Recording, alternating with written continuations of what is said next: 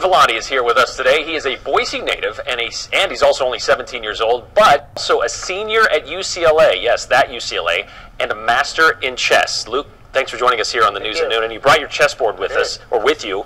Uh, this is something you've been playing for uh, for a long time, right? Yeah, I've been playing since I was four when my dad taught me. Your dad taught you to play? Yeah. Okay.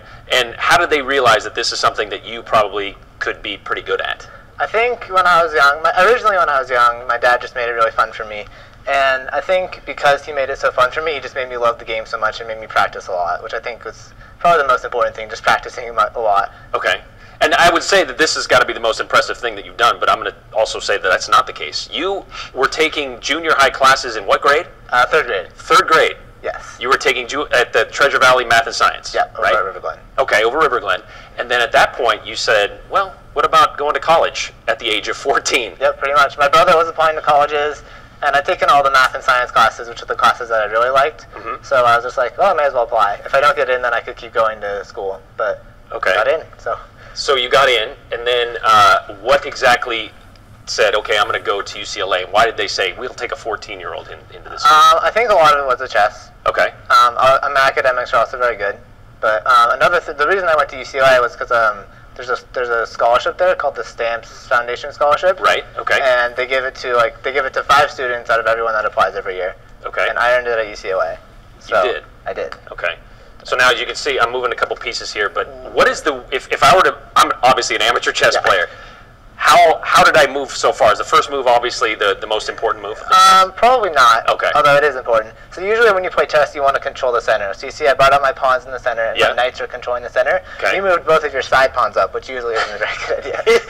okay. Yeah. So let's change that philosophy. Make Yep. that not my way to play. Yeah.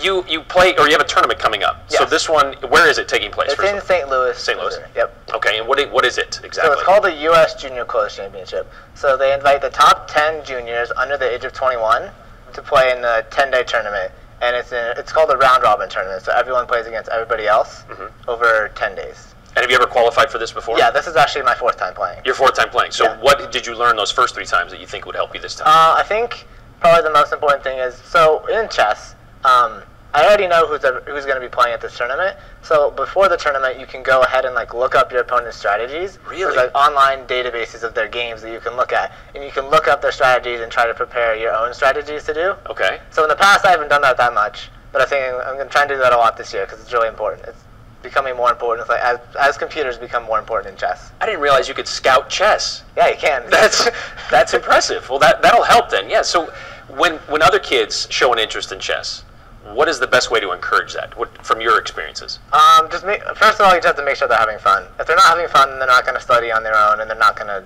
You really have to study on your own to get good. So if they're not having fun, then they shouldn't. They, they, they really have to have fun. When you were starting out, how many hours or games did you play? Um, I don't know. I've probably studied for, for the past like ten years. I probably studied an average of like three hours a day. Really? Yeah. And who did you play against? Your brother? Um, yeah. A lot of it's also online. Okay. There's, there's websites where you can play against like other grandmasters and like some of the top people in the world play again on these websites. okay. And so that's your so- goal to be a grandmaster. Yeah. So the grandmaster is the highest title you can get in chess. How far away do you think you are from that? I'm pretty close. So to become a grandmaster, you need to get these three things called grandmaster norms. We just have to have an amazing performance in like a really specific tournament. And just one month ago, I got my first one. nice. Yeah. So usually, once you get the first one, the, the other ones come soon. So at least that's what I'm hoping. So. All right. Well, well, good luck to you in your tournament. And I don't know if we have time to finish this game, but I can All right. tell I'm probably doomed already. How many moves? How many moves do you think you uh, could beat me in right here? Uh, probably five more. Five, five more moves. Okay. Maybe before the commercial is Yeah, over. maybe. Well, thank you very much, Luke, and All good right. luck to you in your tournament. And we'll be right back.